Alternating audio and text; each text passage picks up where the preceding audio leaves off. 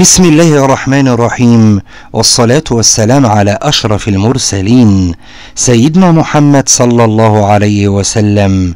النهاردة يا ولاد معدنا بإذن الله مع الدرس الثاني في تركيب المادة وحلقة خاصة على التعليلات المهمة وجايبها لكم من كتاب الامتحان الجميل وكمان من مذكرة الزميل العزيز مصطفى شاهين وأول تعليل يلا مع بعض حجم مخلوط الماء والكحول الإيثيلي أقل من مجموع حجمهم قبل الخلط ليه؟ الإجابة لأن بعض جزيئات الكحول انتشرت في المسافات البينية الموجودة بين جزيئات المادة ده التعليل الأول ونيجي للتعليل الثاني.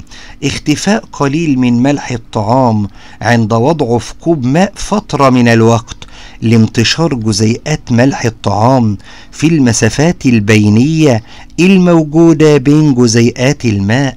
علل اختفاء السكر عند إذابته في الشاي نفس المعنى والمضمون والمفهوم لأن جزيئات السكر انتشرت في المسافات البينية الموجودة بين جزيئات الشاي. السؤال اللي بعده بقى أسئلة ماذا يحدث؟ لو أضفنا 230 سنتي مكعب كحول ل 270 سنتي مكعب مية في مخبار المدرج. يجي ولد يقول لي أنا لو جمعت دول ودول هتطلع الإجابة 500 أقول له ولكن الإجابة تنتشر جزيئات الكحول في المسافات البينية لجزيئات الماء ولكن يصبح حجم المخلوط أقل من مجموع حجمهما يعني أقل من 500 سنتي مكعب. التاني بعد ماذا يحدث؟ ماذا يحدث لو قلبنا مقدار ملعقة من ملح الطعام في الماء؟ معلقة ملح في المية تنتشر جزيئات ملح الطعام في المسافات البينية بين جزيئات الماء فيكتسب الماء طعما مالحا. ونقول المية بقت حدقة نرجع لعلل. علل تحتفظ المواد الصلبة بحجم وشكل ثابت. مهما تغير شكل الإناء الموضوع فيه وحركة جزيئات المادة الصلبة محدودة جدا. ليه احتفظت بحجم وشكل ثابت؟ لأن المسافات البينية بين جزيئات المواد الصلبة مالها صغيرة جدا جدا وبالتالي تكون قوة التماسك كبيرة. المسافات صغيرة يبقى قوة التماسك كبيرة متلاحمة فتتخذ الجزيئات مواضع ثابتة بالنسبة لبعضها البعض. التعليل الثاني للمواد السائلة بتاخد شكل الإناء الموضوع فيه لأن المسافات البينية بين جزيئاتها كبيرة المسافات اللي بين الجزيئات كبيرة وبالتالي تكون قوة التماسك ضعيفة الترابط. التعليل الثالث الغازات ليس لها شكل ثابت أو حجم ثابت والغازات لها صفة الانتشار. يبقى تعليلين. ليه ملهاش لا حجم ولا سبق ولا شكل ثابت وليه سريعة الانتشار؟ لأن المسافات البينية بين جزيئاتها ملا أكبر المسافة كبيرة وبالتالي قوى التماسك تكون منعدمة تقريبا فتنتشر في كل الحيز المتاح لها. علل يختلف جزيء العنصر عن جزيء المركب طبيعي لأن جزيء العنصر عبارة عن نوع واحد من الذرات يعني متشابه. بينما جزيء المركب جاي من ارتباط ذرتين أو أكتر بس المين لعناصر مختلفة يعني كوكتيل من الذرات. علل جزيء الأكسجين جزيء عنصر إنما جزيء المية جزيء مركب أجيب مكوناته لأن جزيء الأكسجين يتركب من ذرتي أكسجين متماثلتين لكن جزيء الماء ذرات لعناصر مختلفة ولسه هندرسها. نيجي لماذا يحدث؟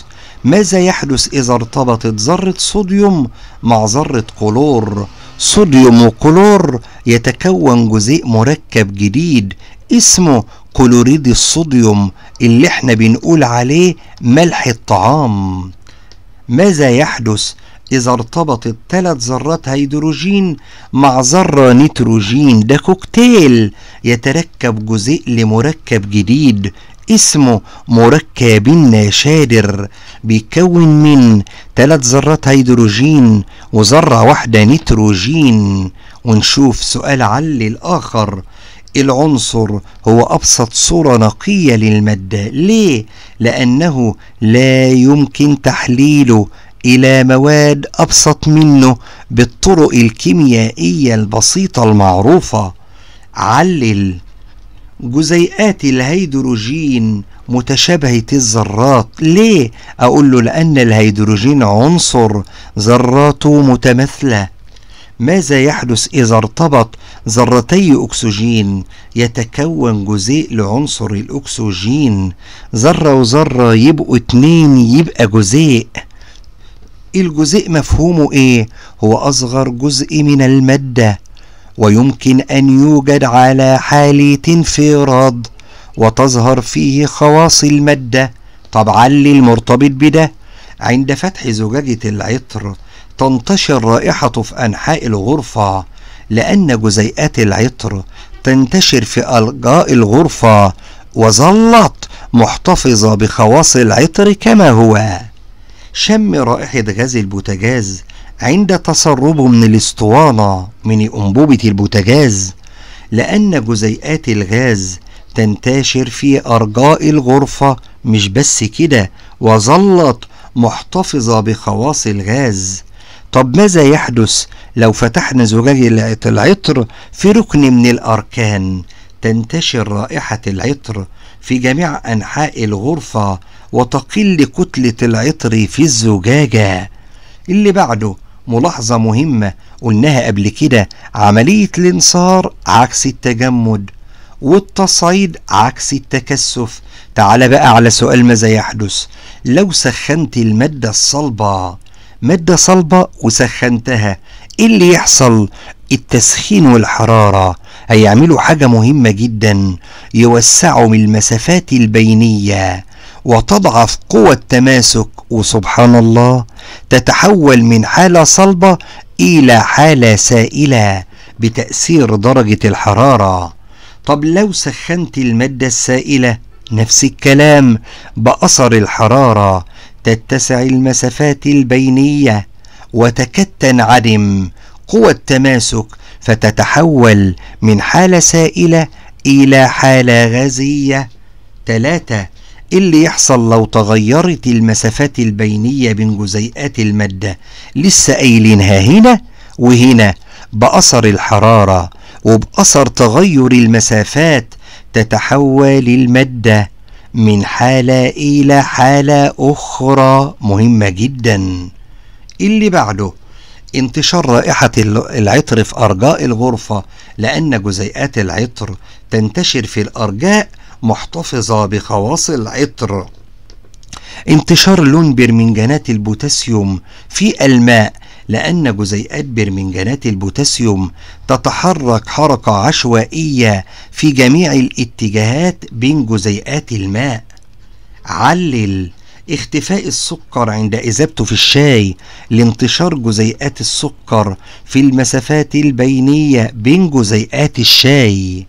علل لحجم مخلوط الكحول والمية أقل من مجموعهم قبل الخلط لانتشار بعض جزيئات الكحول في المسافات البينية الموجودة بين جزيئات الماء. يصعب تفتيت قطعة حديد بالإيد بينما الكلام ده سهل مع المية لأن قوة التماسك الجزيئية بين جزيئات الحديد كبيرة ولكن في المية ضعيفة. علل. تحتفظ المادة الصلبة بشكل وحجم ثابتين مهما تغير شكل الإناء لأن المسافات البينية بين جزيئات المواد الصلبة صغيرة جدا وبالتالي قوة التماسك كبيرة جدا فتتخذ الجزيئات مواضع ثابتة بالنسبة لبعضها البعض.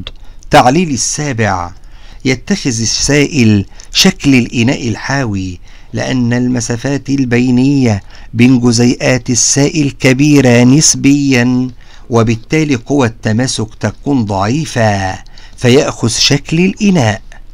8 ليس للغاز شكل أو حجم ثابتين لأن المسافات البينية بين جزيئات الغاز أكبر ما يمكن وبالتالي تكون قوى التماسك منعدمة فتنتشر في كل الحيز المتاح. تسعة تحول المادة الصلبة بالحرارة إلى سائل. ليه مادة يا صلبة؟